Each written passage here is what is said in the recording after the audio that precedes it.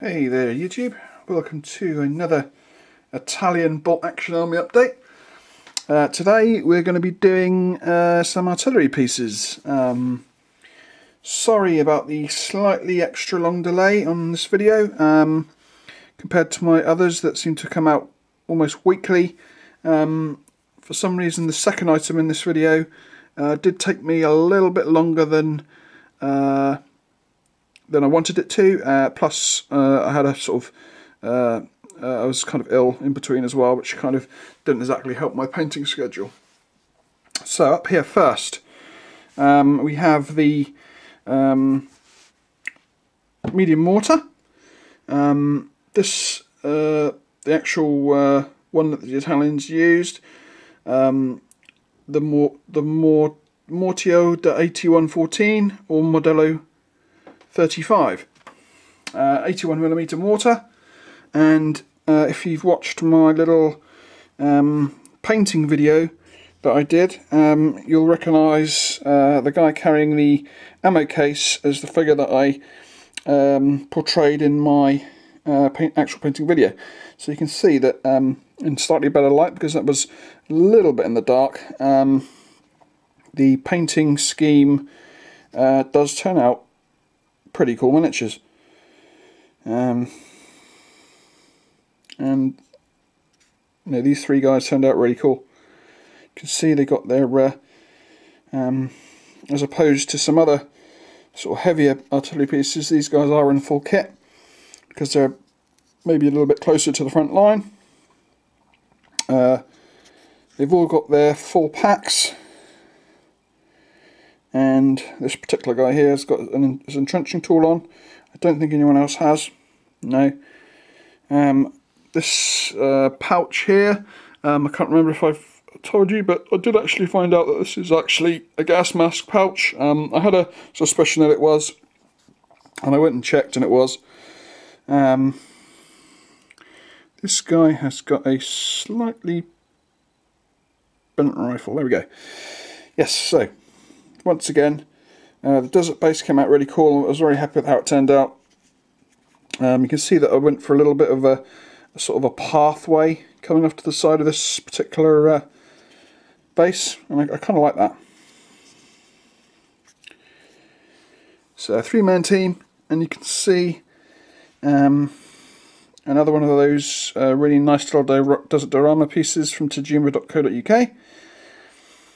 And as far as ranks go for these guys, uh, the highest rank in this team is uh, the um, the loader, who is uh, um, actually the loader stroke commander, so, and he's literally just a, a senior uh, private or a soldato salto. And if you look on the bottom of the base here, um, we have all the, um, I always give my guys uh, their rank and I give them a randomly generated uh, Italian name from uh, an, uh, an, Italian random name generator that I found on the internet. So we have two Soldatos and one Soldato Salto.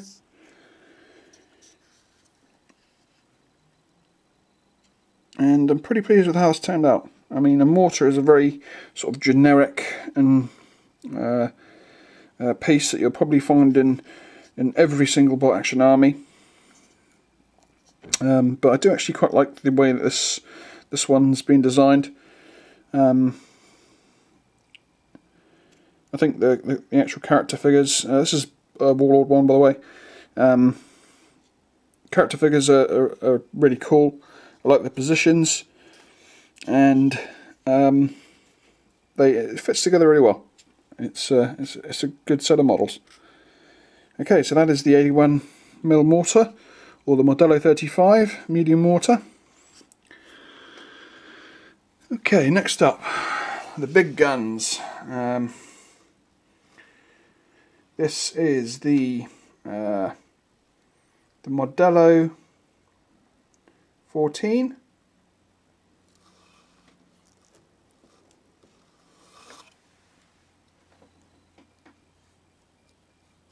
Here we go. Try and get it into shot. Here we go. So let me just zoom out a little bit. Here we go. Yeah, so this is, like I said, the Modello 14. Um, medium howitzer, so it's a 105 millimeter. Um, uh, according to Wikipedia, it's actually the 105.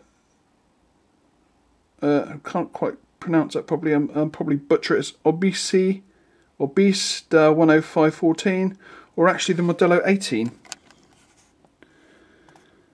So there, there we go. A little faraway shot of it. Um,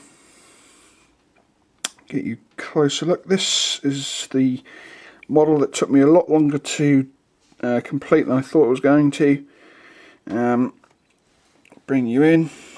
Uh, I decided to go for a slightly smaller base than a lot of people seem to go for with their sort of big guns.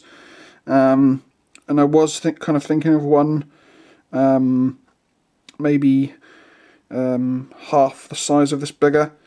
Um, but then I kind of thought, well, wait a second. Um, if I had the base that big, then I'd need to put their backpacks and their rifles and um, the other bits of kit and uh, ammo boxes and, and, and spent casings and all that sort of stuff. And um, I haven't got any of that sort of stuff available. And uh, unlike some of the um, the sort of uh, um, more well-known armies like the sort of Germans or Americans or the British um, that aren't actually plastic kits, um, you don't get that sort of extra equipment that you would get um, off of the plastic soldier sprue, so you wouldn't have extra backpacks, extra um, you know uh, unworn helmets, etc., etc., um, and rifles to stack up and all that sort of gear. So I decided to go for a slightly smaller base, and it's basically what I need to fit on the base, but cut everything else off. So in the end of the day, it did exactly the job that I wanted it to do. Um, you can see the gun. It's uh, it was actually pretty simple to put together.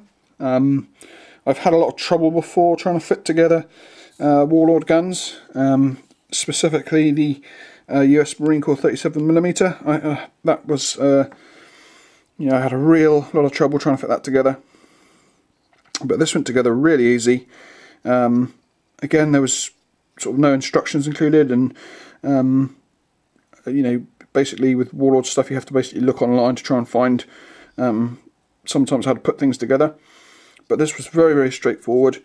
Um, it's basically a one, two, three, four, five piece kit. The body um, slide, you basically put the gun on the carriage, slide the, the guard over the carriage, and then it slides um, over the actual um, the carriage part, and uh, and there's sort of like some lugs at the bottom there that it kind of sits on, and then you just basically stick the wheels on the axles and it's done. It's, it's very very simple model to put together. Um, painting wise, uh, as simple as it looks um, in sort of um, more or less uh, a, a, straight up does it painting scheme. It did take me a little bit longer to paint th than I thought it would. Um, and obviously the miniatures didn't the, miniatures didn't take too too long. Um, but like I said, I was kind of ill in between it, and, and that kind of put three or four days on, onto the total sort of finishing time. And you can see that um, somehow I managed to uh, get get it nicely sort of weathered um, and, and, kind of nicely sort of um, toned toned up. Um, originally, I, I, kind of went for a um, a green ochre type of desert scheme, um, but I thought it looked a bit too stark, so I kind of lightened it down a, a little bit more towards a sort of Afrika Korps sort of tone. Um, Afrika, Afrika Korps tank crew highlight tone um, but ended up being a kind of a, a slight mixture between the two. Um, and with some desert pigment and powder at the end, um, it really did turn out uh, looking nice. Um, it's got these big beefy tyres. Um, and uh, there's the sort of the breech end of it. You can see sort of crew wise we have a did I write the crew yes this I, I have actually written the crew the, the ranks on the bottom but I haven't generated their names yet so we have a teniente or a lieutenant in command so that's that guy there with the sun hat let's give you a closer look at him yeah he turned out pretty cool looking very officer-like. It's a shame he didn't have a uh, uh, pistol holster actually. That would have really finished him off. Decided to give him a slightly younger um, looking face. Um, you know, sort of like a junior officer, and his perhaps his first sort of posting of an artillery battery. And it just so happens that this is the gun that he's assigned to, where normally it might be something like a, you know, like a sergeant or or a sort of a, a, a Italian-wise, a sort of higher ranked corporal. Um, going down the rest of the crew there, we have a Corporale Maggiore, um, which I believe is a senior corporal, um, as the number one, and a Soldato Scelto as the number two, with the, the familiar red V, and a normal Soldato uh, at the end. So let me just give you a close look at these guys. So you can see that the uh, the number one has got uh, no belt kit on at all. He's got his jacket open, and you can see his sort of like his shirt underneath. Um, very easy to paint that guy. Uh, no no belting or webbing or anything to, to, do with that. The fact the only strap he's got is his helmet strap. So yeah, he's he's a pretty cool figure though, all the same. Uh, next on to the uh, the number two. So let's swing it around. Uh, he's holding one of the uh, 105 shells. And again, he has got a open jacket, or a slightly open jacket, maybe with one or two buttons done up. And uh, again, has, has he got a belt on? No, he hasn't got a belt on. So there's another guy without a belt. So that's all kit that you'd need to somehow model if the base was a bit bigger. So, like I say, it was a, it was a good move using a slightly smaller base. So that's the, um, I like this guy's face. And finally the number three, uh, the Soldato. He has not got his jacket on at all. It's uh, Sahariana. So he is literally just in his straight up shirt.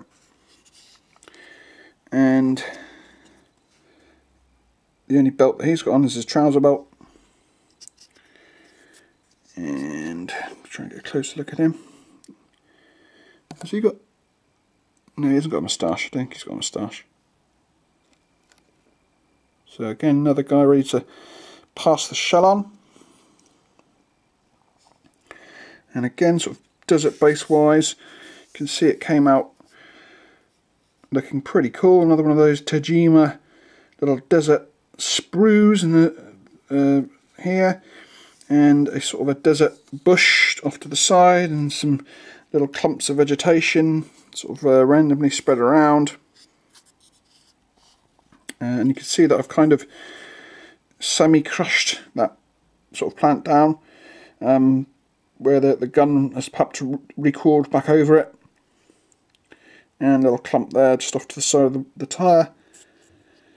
Yeah, pretty pretty pleased. This is the first actual sort of heavy, heavier than a 37mm anti-tank gun artillery piece I've, I've ever done.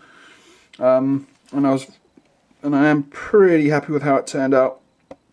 Um, yeah, I think it uh, came out really well, and uh, the more I kind of look at it, the more happy I am about the base size choice as well. Um, so that is the um, what Warlord call Modello 14, and what Wikipedia calls the Modello 18. So I'm not really too sure which one to believe. Um, 105 medium howitzer for the Italian army. So that is the end of this update. So let's bring the mortar team back in. Put them there. So thank you for joining me on this little uh, artillery based update. Um, we are, or I am getting extremely close to finishing them now. I literally have a infantry unit and a Solothurn anti-tank gun team to do. and the next update will probably include uh, those two items. Um, and um, at the end, when I finish them all, I'll do the classic full army update, where I'll just you know sit down and just go through the whole army. Um, so if you don't feel like sitting down and watching the individual videos, um, I'll actually take you through the whole army step by step. Um, and uh, you know I'll show you their names and their ranks and all that sort of extra stuff that I may not talk about in, in the main video. Um, and uh, you know it will be different from the, from the originals, so it's still worth a watch. Actually, uh, you know sometimes go back and, and, and watch the uh, the big army updates myself. Um, it's just you know if you're bored for sort of 25. Um, this is a slightly smaller army, so I'm not sure if it'll take sort of the, the normal sort of 25-30 minutes that, that my other bigger armies took. But um, chances are, obviously, it's going to be longer than, than a basic video. So, uh, like if you liked, uh, subscribe or think about subscribing if you haven't because uh, it's an easy way of getting um, a update on when I release new videos. Um, feel free to comment um, and uh, I'll catch you later.